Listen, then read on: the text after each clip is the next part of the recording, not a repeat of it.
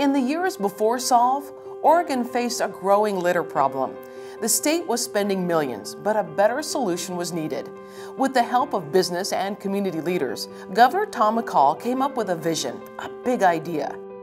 Maybe there was something special about being an Oregonian, some fundamental sense of pride. Maybe if you asked, you could tap into that pride and people would respond. And with that, Solve was born. Oregonians came together, brought their bags with them, and rolled up their sleeves to take care of the state we all love. It was the start of something big. Not long after, the Meier and Frank Company helped Solve promote the Cleaner Oregon contest. Students from across the state submitted their artwork. One of their designs became the new Solve logo, and the students became future stewards of the environment. And so the vision grew. It wasn't only about volunteering, but about education. Over the next five decades, Solve volunteers made the vision bigger still. They created their own projects, organized volunteers, and improved Oregon's environment in countless ways. To protect our coastline, volunteers organized a statewide beach cleanup, the first in the world. Soon other places around the globe looked to Oregon and followed our example.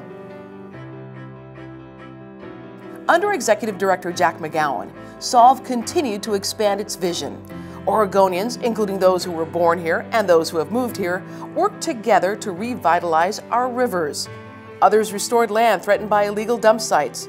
Our kids joined in and brought new energy to the vision. Now, 45 years later, our mission is as important as the day we started.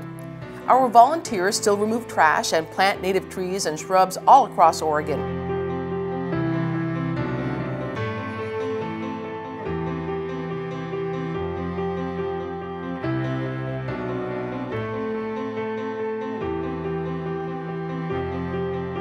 We still inspire future generations, and their enthusiasm still inspires us.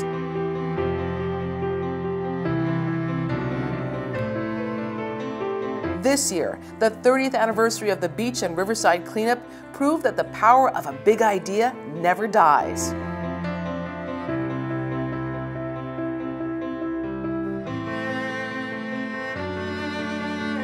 Over the years, hundreds of thousands of Oregonians have joined the cause.